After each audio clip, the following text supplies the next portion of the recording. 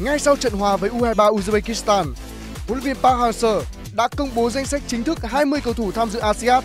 Theo đó, U23 Việt Nam sẽ có hai thủ môn được chọn là Bùi Tiến Dũng và Nguyễn Văn Hoàng. Như vậy, Đặng Văn Lâm sẽ là cầu thủ trên 23 tuổi bị loại. Thay vào đó, Văn Quyết, Anh Đức và Đỗ Hùng Dũng sẽ là những người được chọn. Đây chắc chắn là quyết định khó khăn nhất của huấn luyện viên Park Hang-seo. Điều đáng chú ý trong danh sách này đó là việc câu lạc bộ Hà Nội đóng góp cả 8 cầu thủ cho U23 Việt Nam tham dự ASEAN.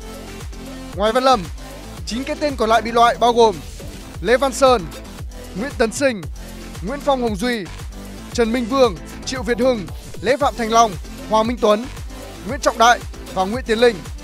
Sau khi có được danh sách chính thức, đội tuyển U23 Việt Nam sẽ có chuyến tập huấn ngắn ngày ở Bình Dương trước khi chính thức lên đường sang Indonesia tham dự ASEAN.